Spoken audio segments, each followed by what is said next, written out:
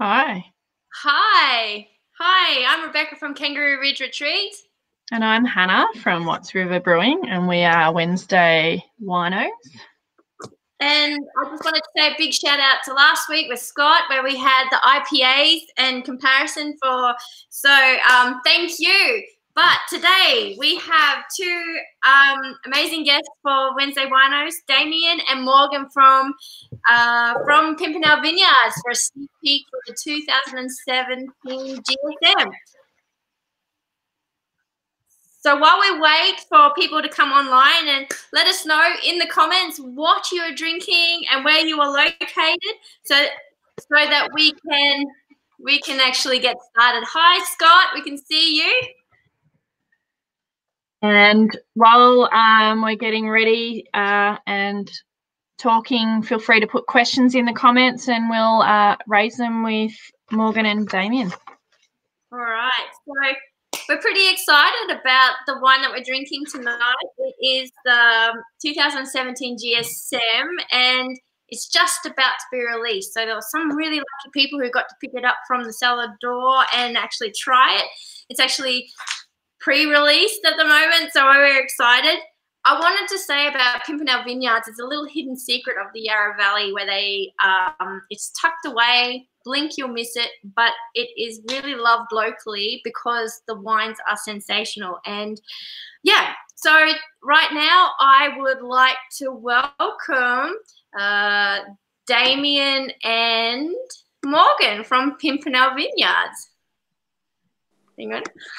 Should be able to see you. Hi, guys. Hello. How you going? Hi, Becky. Hi, Hannah. Hi, Beck. Hi. Thanks for coming. So, Damien, tell us a bit about yourself. uh, right, yeah. So um, I'm Damien. I'm the uh, winemaker for Pimpernel Vineyards.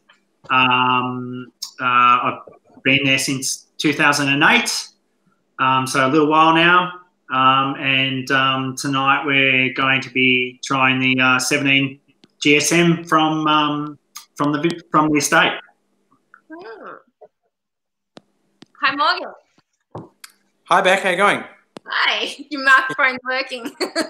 Yay. um, sorry, I can't quite hear Damien, or, or I can just see you. uh, we can see you. We can see Damien. I Uh, can see Hannah. Okay, cool. Yeah, nice. Um, sorry. So I'm Morgan. I work at Pimpernel Vineyards. Um, I'm Damien's boss. Um, Yeah, which is how I usually introduce myself at cellar door. Uh, no, I do a bit of everything. Run the cellar door, um, help out during vintage and, and in the um, in the wine production process, but also do the membership and um, yeah, a few other things at Pimpernel. Awesome. So, I guess, um, shall we all cheers and let's get going and start Yeah. off? All right, Cheers. cheers. Cheers. Smells amazing. I just get stuck into it. Sorry. Yeah. so, um, Beck, would you like me to talk about the? The wine. Okay. Um, so the the um, the GSM is um, uh, uh, is a um, a blend of three different varietals here. We've got Grenache, Shiraz, and Mourvedre in the blend, and we put a just a tiny touch of Muscat of Alexandria into this wine. Um, this wine is coming from dry grown vines off the estate, so all our vineyard is uh, non-irrigated. Um, we don't water our vines, so it's really quite low yielding. Um, yeah, and it's a really interesting blend. It's a blend that is um, is uh, a bit very rare to the Yarra Valley. Definitely delicious. Is it a blend that happens a lot worldwide? Yeah, well, look, it, it takes its origins from the um, from Southern Rhone, um, so it's um, yeah, it, and quite famous within that that area there. Um, so it's a, a well, yeah, very much a well respected blend itself, it, and it will vary in its components, obviously from vineyard to vineyard, um, estate to estate in its in its um, in its uh, uh, the blending material as to the components, the percentages. Yeah. Um, so within that area, it's like we adjust the percentages um, each individual each individual year to what we think's kind of right for us and what we like and what we want to kind of draw out of the wine. Um, and it naturally adjusts itself on the vine too with the amount of volume we get. So I've got a question. Yeah. From Scotty. Can, blend or co-ferment? Yeah. Okay. So um, these uh, individual parcels. So the Shiraz, for instance, it, it can come in anywhere up to like like this vintage. It came in about around uh, four months. Uh, sorry, four weeks ago. So um, so we picked the Shiraz component four weeks ago, and then we picked the GSM, uh, the Grenache component um, over a. Um, we did multiple picks on it, and it was it was picked a lot later. So and then the Mourvedre came in last, so it was uh, the last component to come in a month after the Shiraz. So it's it's fermented separately. We do all small batch fermentation with our wine, so we're fermenting around 800 kilos at a time, which is equates to around two to two and a half barrels at a time, um, and then blending back to to um, finalize the blend. Um, uh, the uh, there were six individual ferments with this particular wine um, to, to make this wine. Yeah. It has a very I don't know musky musk like musk nose. Yeah. Trying mm-hmm. to think of the name before. Then when you said the Muscat, then I'm like, oh yeah, musk. Is that musk sticks? Mustics is something that we often get within within the wine here. Um, we also get you know a lot of kind of like big big hits of kind of red uh, red fruit flavors, so like um, raspberry kicks through the palate from the Grenache. And the uh, Mourvedre brings some meatiness to it. With the Shiraz, I tend to kind of like that to just stay in the background a bit, not be too visible. So I like to blend it as such so we're seeing the Grenache component and the Mourvedre really shine through and, and come to the fore. Um, what about passion fruit? I don't know if I'm tasting passion fruit. Yeah. Okay. So really, it's an interesting comment because early on with the um, with the Mourvedre barrels, sometimes we can see this this kind of cool climate passion fruit character from a red wine that is, you know, these, these varietals they're they're quite marginal in the Yarra, so they're really late ripening. Um, uh, we're kind of we're one of the pioneers of this blend, so sometimes with the Mourvedre, they can really offer this kind of um, this real cool climate character, and often we will see a slight hint of passion fruit within that particular varietal, which is a bit bizarre for a red red wine. Yeah, that's why I was uncertain. So, Morgan, what um, you're in the cellar door. How do you find that the GSM goes when because it's not a lot of people don't know it from Kangaroo Ridge Retreat um, I found that it was not difficult to sell, but actually to entice people to actually try it because it's an amazing wine. What do you find? I mean, people can try it before they buy it, but you know, what's the response? Sure. Um, I guess it's one of the older blends in Australia. There's plantings back to the 1800s in, in Barossa in South Australia. Uh, so people, some people in Australia who know wine, I guess they, they're aware of this blend, but it's really unusual to see it in the Yarra Valley or in a cooler climate region. Usually, Barossa and McLaren Vale are really quite warm, arid areas. So um, people are quite intrigued uh, by this blend. Um, and we, I guess, at Pimpernel, we talk a lot about the old world and France, where we're inspired by.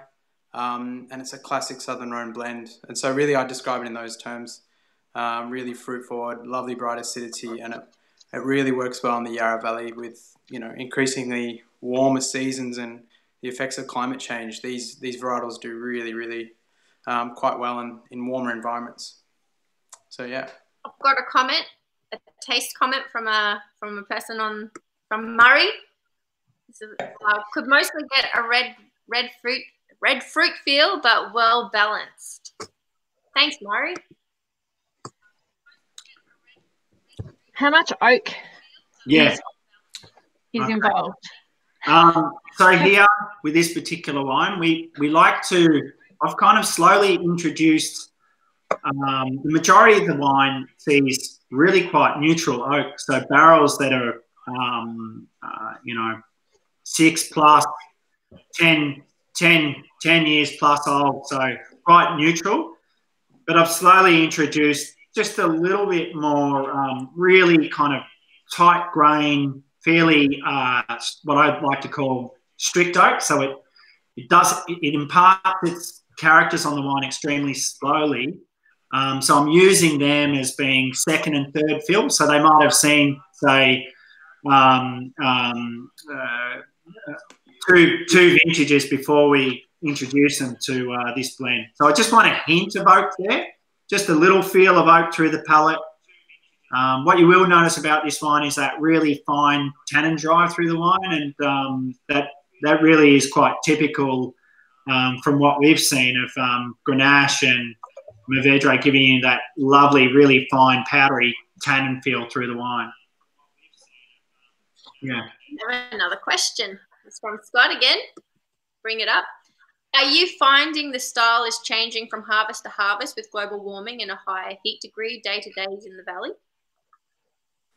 Um, well, with with I suppose um, Morgan, yeah. Sorry, I can't hear if Damien's answering this. Um, Becky, tell Morgan to have a go because he can't hear us. Morgan. Sorry. Go oh. ahead, Morgan. Sorry. Um, I guess 2017 was a, a, cooler than average vintage. I mean, it was it was warmer than average in a sense, but we had really um, quite persistent weather. Um, no, re- nothing really over 35 degrees for much of that kind of January February temperature, and then really lovely Indian summer conditions uh, through March April.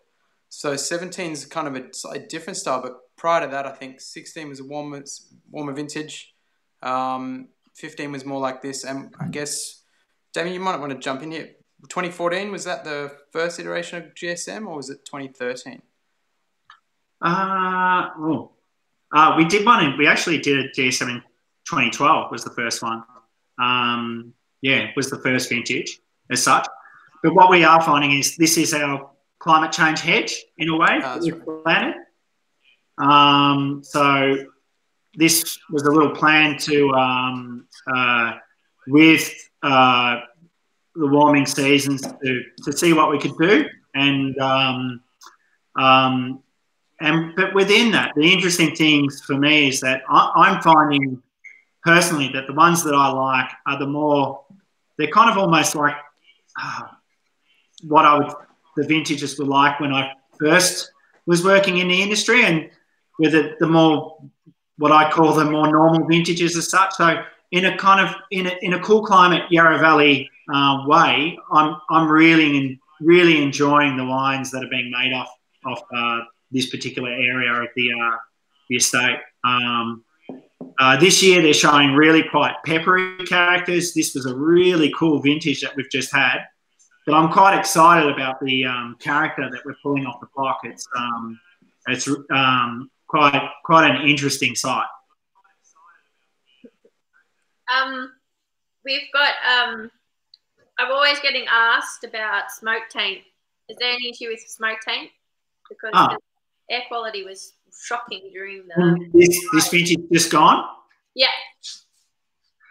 Um, no, no, there wasn't. Um, basically, we had was a, this was such a testing vintage that we've just gone through. It was a really hard vintage um, in more ways than one. Early on, we had problems with smoke, um, being in the valley, but those fires were coming from a really long distance. Um, we're really lucky in the Yarra. We're one of the, I, I, would say, as far as regions go in the Yarra, uh, in in Australia, where the Yarra has been extremely lucky this year. Uh, with those fires coming from really quite far away, um, that smoke had um, dissipated all those um, uh, nasty ingredients that could affect the wine, uh, the grapes that were hanging on our vines. So we've actually escaped any um, smoke taint um, this year. There has been no kind of detrimental effects from what I know personally, um, within our our um, vineyard and winery. Yeah. I see an interesting comment there from um, uh, from Scott. No, I'm not a climate change denier at all. don't want to scan off there. I, I, completely believe in climate change, um, and hence the reason why we planted these varietals to begin with. And uh, I just think they do look. Um, they're actually probably a little bit more easy to ripen than what I thought they possibly would have been. I'll pull up the comment so you can see it. It's from Scott. Um, he's got fabulous wine, savory, fine tannins, beautiful red fruit characters, and lovely herbal complexities. Now it smells amazing now and tastes amazing. Uh, should we have waited to drink it, or is it? It's an hour a later drink. Um, for me, for me personally, I think this one's got a bit of both ways about it. So um, it's got lots of abundance of fruit flavour now. So it's kind of fruit forward and drinking really nicely now. Um, but will definitely um, change with time um, um, over the over I would say over the kind of medium term um, over around an eight year period. It should be fairly fairly decent drinking. I'm usually quite conservative in these areas, so um, I think it'll improve with time. Put on a little bit of body weight. It's still quite kind of closed and a bit restricted, and I think that fruit will really um, shine through um, with a little bit more age on it. Okay, got another question. Tough one from Scott again. Can you remember the numbers? yeah. Numbers, pH, all the etc. etc. Yeah. Is it on the label like beer? No, it's look, I know, I know a lot of people focus in these areas as such. The Baumés through each individual varietal um, change quite a lot. Usually, what I'm looking for within the Shiraz is a an earlier pick, a um, a, a, a, a, lower Baumé within there to give me some restraint in the Shiraz. I don't want the, the Shiraz to be kind of like big and heavy and bold. I want it to be a little bit more restrained, a little bit more fresh. So I pick it earlier for the GSM. Um, and then with the with the Grenache and the Mourvedre, they are a lot different in the vineyard. They control me a lot more than what I control them, which means that um, they're, as I mentioned before, they're quite marginal. So um, they only just kind of ripen in the Yarra. So I've got less control over them. Um, and sometimes I need to it's more about weather. When it, when it, um, if I'm seeing rain coming and I think flavors right, and and generally speaking, that's what I generally pick on is flavour. So the fruit character, what I'll do is I'll take a random sample off the vineyard, squeeze it out. If the fruit flavour is right, um, then then I'll pick. Um, doesn't matter to me as such. TA doesn't matter to me. pH doesn't matter to me. It's all about the flavour of that fruit juice when it's coming in. Um, in saying that, you know, it generally it's fully ripe. You can see that the alcohol's around 14.3, so it, it's fully ripe in its nature. Um, pH is quite quite low for um, for a uh, a, a, a uh, Rhone red wine. It's usually around 3.3 or so. Um, yeah, TA. I'm, I'm unsure on the TA. I, I haven't measured it on this particular wine ever. So there you go. Next question. Next one. Um, it's more about. It's from. It's actually Barry. Hi Barry. Good to see you. Um, what's the background to the GSM mix? Is it a European standard? No, no. There's no real. I, I wouldn't say there's a standard there as such.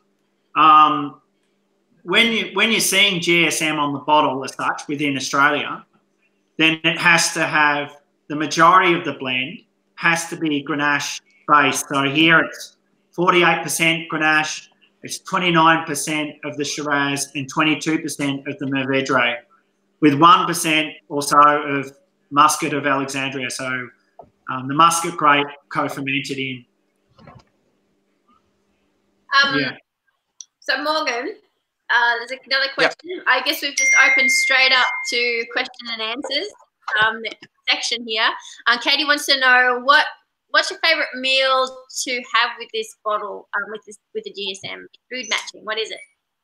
Oh, um, lamb ragu, uh, rich, rich, hearty winter dishes are really good. So slow cooked meats, um, anything that's rich and fatty. The acidity of the Grenache really helps cut through that. Um, and yeah, tomatoey flavors, um, those kind of proteins, red meats work really well. Uh, Becky, are you out? Simon just stole half of my bottle. Oh, So yeah, I am out. I've got one to myself, so I'm all right. but I will break into the 2015 because we have 2015 stock, and I'll be a yeah. No, I'm. I really. Or I reckon you could just drink this by the fireside. It's very delicious on its own. Um, yeah, definitely. Um, do we have any other further questions from the from our viewers?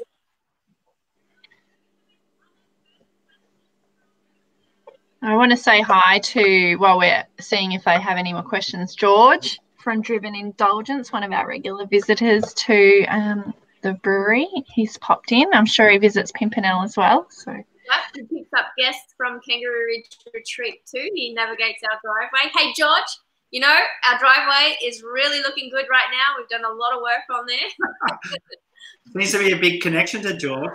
Um, I'd like to say hi to George. Um, I bought my picking crates off George. So, yeah. Hi, George. All right, so um, oh, um, Bianca had a nice steak with her glass tonight and cheese. and Murray, what did you have with yours? So, um, so Thank tell us. I have to move into this about this. When's it going to be released? Uh, yeah, And how they get it. yeah, because this is truly a sneak peek. Uh, it'll probably be released uh, within the next week or two, possibly two to a month. um, yeah, we're just we're just working on our website at the moment, trying to get this wine to our membership. Uh, they get priority access, obviously, other than you guys. Um, and then yeah, we'll we'll we'll open it up to the general public after that. So, if um, will there be an announcement, or do we want to join up as a member? What? How? If you really, really, really want to try it, how can you get your hands on it? Yeah, go to Pimpernel Vineyards webpage. Um, there you can view our new online shop, which is really easy to navigate, finally. Um, you can see the wines there. The GSM, uh, or the Grenache Shiraz Mourvèdre, as this one's called now, uh, will be viewable next week, but you won't be able to purchase it for a couple of weeks. We give the members first go. Um, otherwise, once hopefully this is all over, uh, you'll be able to come and see us at the cellar door and we'll be able to give you a tasting and talk you through the wines. Fabulous. Um, I've got one other question. What other favorite wine do you have, Damien, that you guys make at Pimpernel? Um, I suppose for me, a lot, a lot of the wines there are um, kind of I'm fairly close to. Um, it's usually the stuff that's in quite small quantities and a little bit that we don't make every single year that I'm really kind of, um, I suppose, uh, enjoy. Um, I enjoy all our wine, but some some are just because there's so limited amount of it that you're going, oh, and you know, like uh, for instance, our um, our Mazan, um, which isn't made every year, quite rare. Um, you know, last vintage 2017, there was only 16, uh, 600 bottles made of that particular wine. It's something that I really quite kind of enjoy and cherish because I know it's not going to be a lo- around long. So, um, yeah, it usually disappears pretty quickly. And yeah, but yeah, I'm something I'm very happy with. Um, Morgan, I've got a direct question to you. How do you become a member? um, so our membership, we send our members six or twelve bottles each six months, usually in May um, and November. We're currently working on our new website for you to be able to log log on or be able to sign up to the membership. Um, you can email us and we'll, we'll respond and, and sign you up. But with the membership, we give you 10% off a half dozen, uh, 15% off a full dozen. You get free freight. Um, you can mix and match the wines, whatever you'd like. Complimentary tastings, invitations to our wine dinners, which normally we would do each year. Um, more Where than one. Last usually. time, where did where were the, some of the ones that you went to the wine dinners? Uh, so the last wine dinner we did was um, our Pinot dinner. We did a Pinot launch on the 2017s. So there were five Pinots that we had matched uh, to, to several courses, um, which we had at um, Scott Pickett's restaurant Matilda in South Yarra. It was, Wow. it was fantastic. Um, we've also done wine dinners at Centenove, uh, just off Collins Street in the city. So we usually do a, a Rhone release or like a heavier red Shiraz GSM release uh, with those guys as well, and they match class, classic French dishes with those wines. Um, so yeah, Fab. Um, the question and answers are still coming. Sorry. um, any news on another fortified? Uh, yeah, so we, I think Scott must be referring to the Muscat Fortified. We, um, we do, uh, we've, we've done one this year, so uh, we just finished up vintage this, uh, this, this week. So, um, yeah, we, we have produced a, uh, a fortified this particular season as well. We've, we've, we've got a, uh, a single barrel. When we do fortified, it's only a very small amount usually. Um, and we've moved to a, an area where we're um, doing multiple vintage, so we're kind of um, aging our fortified for long periods of time in barrel and and, and blending multiple vintages uh, to kind of add, add complexity to it. So, yeah, that's the that's the news on the fortified. Lovely. Um, so I just want to do a couple of call outs because um, uh, Barry's asked for can you how about some local dinner launches? Yeah, we we were um, Morgan. Do you want to? Uh, yeah, Barry, it's something we're going to be looking at once restaurants reopen, I guess. Um, We were booked in Yeah, with we'll uh, Yering. definitely try and tee something up in the near future for sure. and I want to call out a couple of the other comments. And I'm sorry, I'm the one that's reading these because I'm the only one who can actually see them. Um, is the picks for other wines at Pimpernel. So the other picks have been the Pinots, one and two. Uh, that was from Barry. Uh, Kerry has said, "Oh my God, the Chardonnay." Simon, sorry, what? Grouch gets a mention. Yeah, the grouch from Simon gets a mention. Um, so yeah, um, and George really wants to know a little bit more about the food pairing, so um, to m- match his dinners. So, any other dinners that can go for the GSM? Um, I, Damien, I've do you want to have a go at the dinner match? Yeah, look, I've always like um, found that any kind of, um, I- I think just something. I've always said that a simple barbecued lamb chop goes perfectly with. Sorry, Sorry, there's a dog. Go away. Was that Simon? sorry, Um, my dog's bum. barbecue. yeah. So, so Smoked yeah, meat. I've always found that like a just a, even just something as simple as a barbecued lamb loin chop is goes fantastic with it. Um, um, anything with a little bit of game, we're pretty lucky. I know you guys are up there, um, Becky. With um, there's plentiful kind of um, venison that uh, um, is available within this area, and if you can get your hands on it, it goes really, really nicely with this wine. Our dear, our deer farm. Yeah.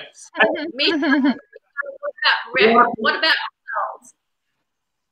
Rissoles. What about results? um, no, no, I think they probably want a, a bigger bowl of Shiraz with that. Um, and Scott's asked, uh, back to the wine. I'm sorry, back to the wines that you do a Solera. I'm not sure. Do you know what? Um, Yeah, so I'm not Scott's sure saying like a Solera style. So what he's getting into is uh, with the uh, Muscat, um, with what we're doing is like a Solera style. Yeah. All right. So, um, t- because we've got to come to an end. I'm sorry. This um, keep it short. We've gone way over time. So really, thank you for everyone watching. But always at the end, towards the end of this, we talk about um, fantastic things or things that gave you hope or were one made you happy this week because we're in such a unique situation at that moment. So, um, Morgan, would you like to tell us, share with us something that made you feel happy or you? I found a really found a really nice Armagnac that I'd recommend. This has been um, fantastic. I don't know if you guys can see that. All right. Hold um, it. Hold it still. Looks back to front to me. That's yeah, correct. I hope it's okay.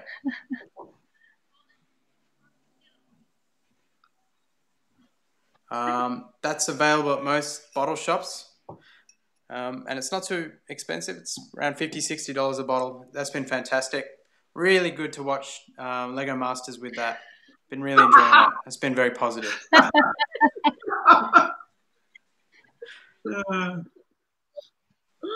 thought you were working on the website. yeah.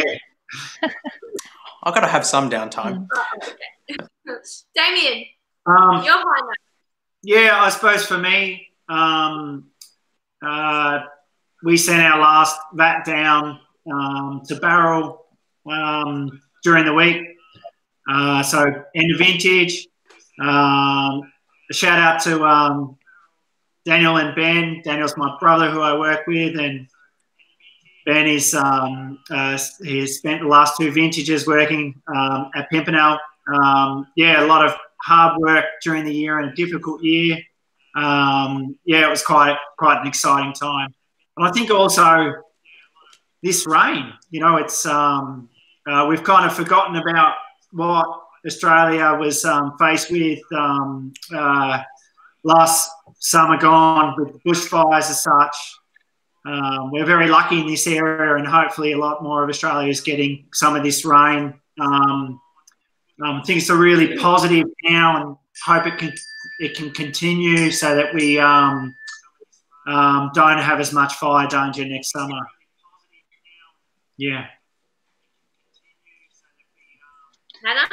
Mine was probably looking forward to tasting this wine. Uh, it's definitely Pimpernel's one of my favourite vineyards in the valley, and uh, pretty excited to be so lucky to taste it so early. So yeah, this wine.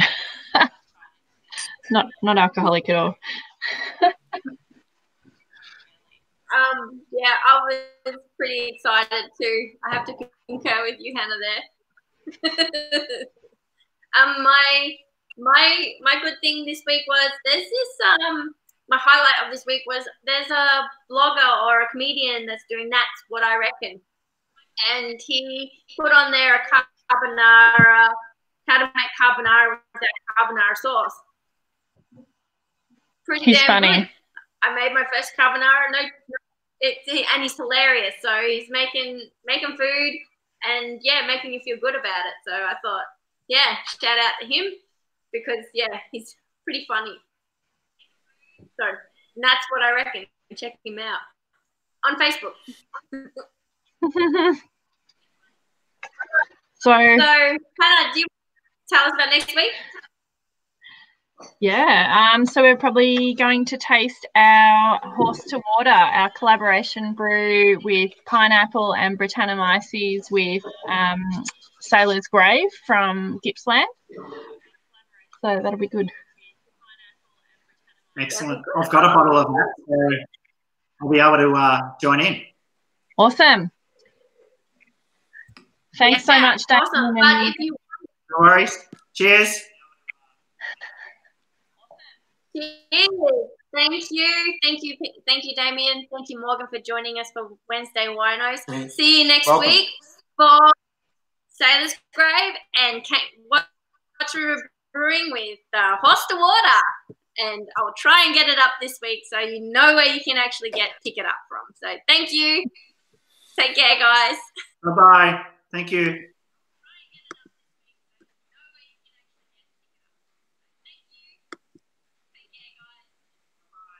Yep. Sorry, Morgan. I'm trying to get you high. The same thing happened last week.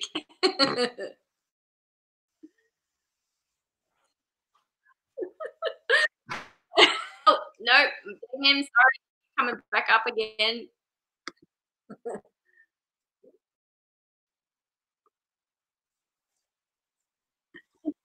it's okay. It's not coming up, so it, it, somehow hooks itself. So have a lovely uh, evening, everybody.